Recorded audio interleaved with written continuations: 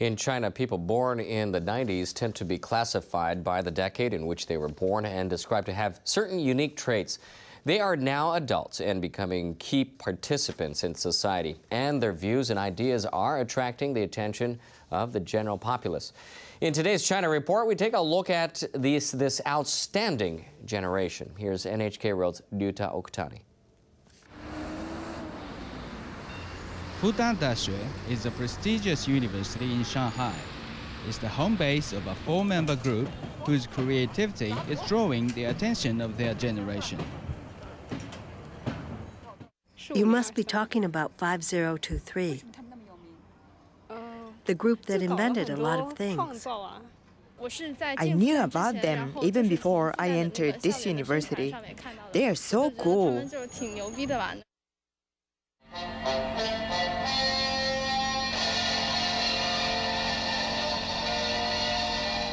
二三起士，五零二三起士，荣获复旦大学特色形式第一名。Last year, all four members of the group were included in the Chinese government's list of the 10 most outstanding students in the country.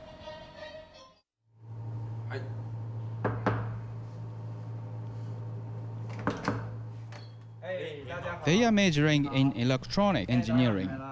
Immediately after entering the university, they began developing devices and software for fun. They took movies on their inventions and released the films on the university's website. The films got more than 1 million hits. Our rooms are full of stuff that can be operated by remote control. This is the remote for the lighting. I can turn it on and off by pushing this button. Their inventions include software for memorizing English words and a device that protects bicycles from theft.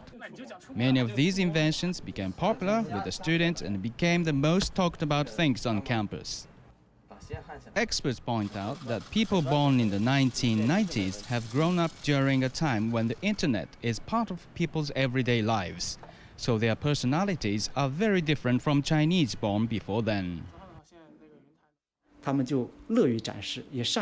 They are not afraid to insist on what they believe in and are good at self expression. They like to have fun, but at the same time, tend to take a rebellious attitude. When they grow up, they will have an impact on Chinese society as a whole. Older generations often say young people are beyond the range of understanding. But some say they will bring China a bright future. Attention is focused on what kind of changes this new breed of Chinese will bring to the country when they establish themselves in society. Yu Okutani, NHK World, Shanghai.